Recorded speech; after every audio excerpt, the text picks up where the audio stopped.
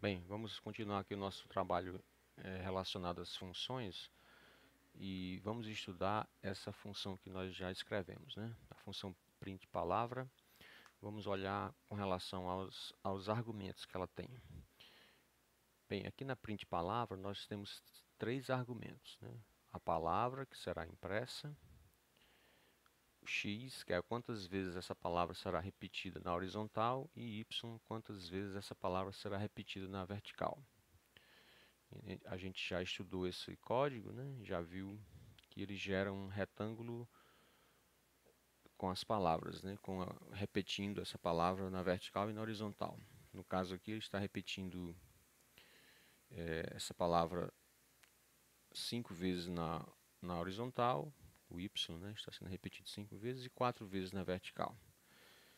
Bem, analisando aqui a, os, os, argumentos da função, nós temos o argumento palavra, que é a string, o argumento x e o argumento y, que são os argumentos que, que contam as vezes que a, a palavra é repetida. Bem, é, quando é, observe vocês que a gente que nós não estamos colocando não estamos atribuindo palavra a nada aqui na definição da função. Isso quer dizer que essa palavra é um argumento obrigatório.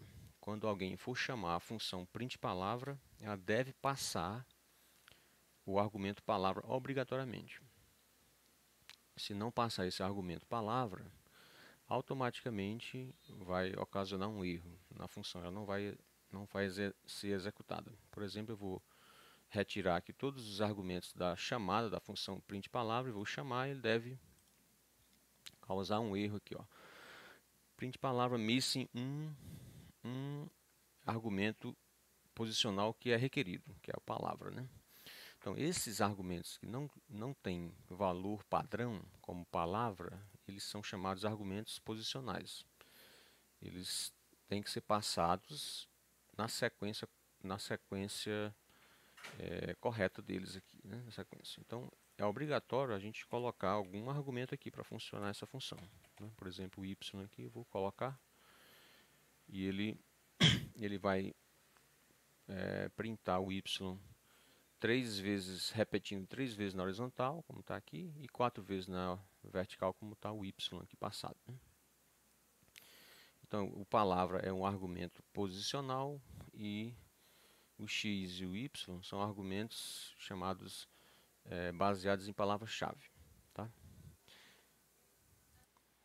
E x e y são argumentos opcionais, já que tem valores padrões já definidos para eles aqui. Né? Vamos ver como é que funciona aqui a associação das, da, dos parâmetros. Ó, eu vou colocar aqui umas chamadas, é, vou colocar o y, eu vou colocar 6 e 7 aqui, tá? Vamos chamar a função e ver o que é que acontece. Ó. Bem, quando eu chamei aqui a função, é, vocês podem ver que a, o y está sendo repetido seis vezes na horizontal e sete vezes na vertical. Isso quer dizer que o Python está associando o y à palavra, está associando o 6 ao x e o 7 ao, ao y. Tá? Está associando o 6 ao x e o 7 ao y. Se a gente fizer a chamada da, da função sem especificar quais são os parâmetros que estamos passando, ele vai é, associar sequencialmente aqui, né, a palavra ao y, x ao 6, y ao 7. Se a gente quiser alternar a, a, a, sequência, é possível. A gente pode colocar aqui, por exemplo, eu posso dizer que o y aqui é, é 6 e o x é 7. Isso vai fazer com que ela imprima um pouco diferente. Né? São sete repetições horizontais e seis verticais. Porque nesse caso o Python ele tem um guia, né? ele tem um guia e dessa forma vai funcionar. Isso também funciona para palavra também. Né? Posso colocar aqui palavra. E eu vou colocar a palavra ao final, da mesma, mesma forma. Aqui no, nos argumentos. E ele vai continuar funcionando perfeitamente. Né? Então ele vai, quando eu explico aqui, eu digo qual é o argumento, ele vai associar o argumento correto aqui. Tá? Vamos é, observar o seguinte, ó, que o, o, o palavra, eu, Se eu não colocar o, o nome do argumento aqui, ele vai dar um erro, né, dizendo que eu estou colocando um argumento posicional, ou seja, sem dizer qual é o argumento que eu estou passando, após eu passar argumentos baseados em, em palavra-chave. Né? Após eu passar com y igual a 6, ou, x igual a 7, eu estou passando um argumento posicional. Isso não pode. Ele vai dar um erro. Né? Ele não, na realidade, ele não vai, ele vai, é, não, ele não vai deduzir que esse y é a palavra aqui. Ele não vai, não vai ter esse trabalho. Né? Então ele vai dar esse erro aqui. Não, não se pode fazer isso. Uma vez passado o argumento é, com palavra-chave, todos os outros argumentos seguintes têm que ser com palavra-chave. Então, mas o contrário pode ser. Por exemplo, aqui, ó, é, é possível. Eu vou passar aqui, ó, o argumento é, palavra, aqui posicionalmente, ele vai, vai funcionar. Eu posso passar aqui o 6 e vou passar o y como sendo 7. Bom, nesse caso, ó, o y aqui maior, com o y com under, underline, ele vai atribuir a palavra, o 6 ele vai atribuir ao x e o, o, o 7 ao y. Então, dessa forma vai funcionar. Vamos é, percorrer aqui, um, fazer uma exploração nos possíveis erros. Ó. Se eu esquecer de passar um argumento obrigatório, por exemplo, palavra, ele, ele vai dar erro. Né? Se eu esquecer o argumento obrigatório, eu vou tirar aqui o... Vou deixar só o x e o, e o y, e vou passar. Vou diminuir aqui para 5 e 4, e 5 aqui, e vou passar, ele vai, vai notar a falta de um de um argumento obrigatório, que é a palavra. Essa é a primeira, a primeira falta. O segundo problema é esse que eu, que eu expliquei há pouco agora, que seria colocar um argumento posicional depois do, do argumento baseado em palavra-chave, que ele vai dar esse erro, né? eu não posso colocar um argumento posicional depois da, de argumento com palavra-chave. Esse é o segundo eu também não posso passar argumento duplicado. Ó. Por exemplo, eu vou passar aqui, eu vou trazer esse z para cá. Eu, eu, posso colocar o palavra aqui. Palavra.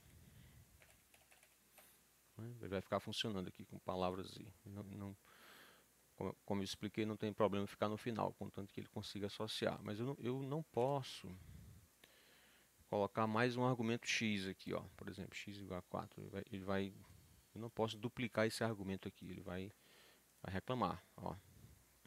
Argumento baseado em palavra-chave repetido, x. Ele não, não vai aceitar. Vamos ao, ao terceiro problema. O quarto problema. Se eu não passar os,